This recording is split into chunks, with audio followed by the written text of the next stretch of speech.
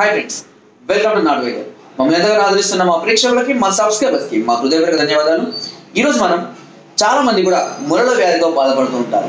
శరీరంలో అధిక వేడి వల్ల లేదా సుఖ విరోచనాలు కలగక బాగా ప్రెషర్ తోటి మోషన్ చెప్పోయే వాళ్ళలో కానీ లేదా భగేంద్రం భగేంద్రం అంటే మలరంధ్రానికి పక్కన ఒక చిన్న హోల్లా పడి లోపలికి అలాగే వెళ్ళిపోతూ ఉంటుంది ఒక పురుగు తొలుస్తున్నట్టుగా ఓకేనా ఇలాంటి సమస్యలను శాశ్వతంగా తగ్గించే ఒక సులువైన అద్భుత చిట్కా చెప్తాను.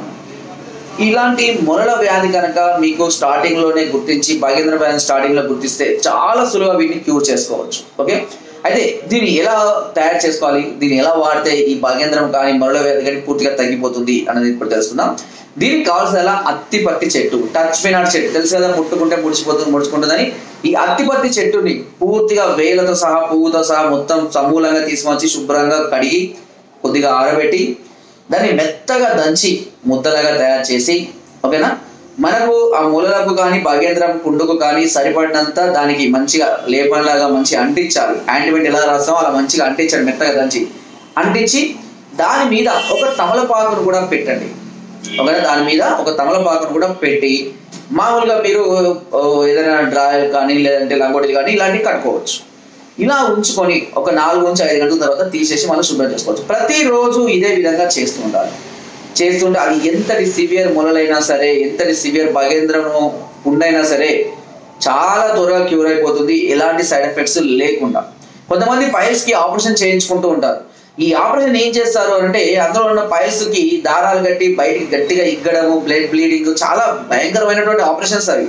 ఎప్పుడు కూడా మొలల వ్యాధికి ఆపరేషన్స్ చేయించుకోకుండానే మనం ప్రయత్నించాలి.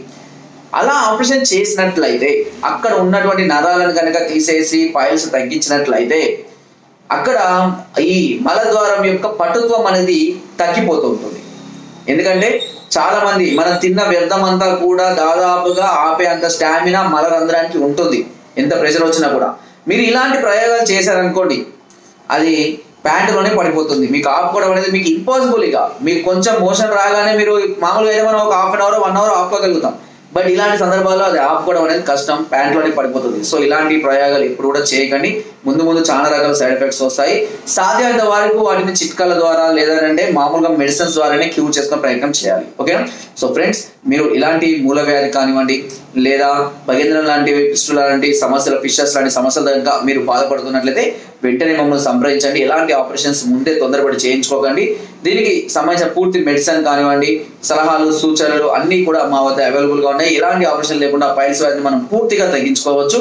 దీని కొరకే మీరు ఫైనాన్స్ మౌతున్న నెంబర్స్కి ఫోన్ ద్వారా లేదా వాట్సాప్ ద్వారా లేదా కింద డిస్క్రిప్షన్ ఉన్న మా యొక్క అడ్రస్ కూడా నేరుగా వచ్చి సంప్రదించి మీ అన్ని రకాల సమస్యల పూర్తి సలహాలు సూచనలు మెడిసిన్స్ని కూడా మీరు పొందే అవకాశం నాటి విధంగా ఛానల్ కలిగిస్తుంది. మీరు రాలేని పరిస్థితుల్లో కొరియర్ ద్వారా కూడా మెడిసిన్ పొంది ఇంటి వద్దనే మెడిసిన్ని వాడుతూ మీ సమస్యలకు మంచి సొల్యూషన్ పొందవచ్చు. ఈ అవకాశాన్ని అందరూ ఉపయోగించుకోండి. సమస్య స్టార్టింగ్లో ఉన్నప్పుడే దీన్ని క్యూర్ చేసుకుంటే చాలా త్వరగా మనం ఈ సమస్య నుంచి బయటపడవచ్చు. సో ఫ్రెండ్స్ నా వీడియో కనుక మీకు నచ్చినట్లయితే ఒక లైక్ ఒక షేర్ చేయండి. మరిన్ని వీడియోస్ కోసం సబ్స్క్రైబ్ అందరూ మర్చిపోకండి. మీ అమూల్యమైన సలహాలు సూచనలు నాకు కామెంట్ ద్వారా తప్పకుండా తెలియజేయండి. Thank you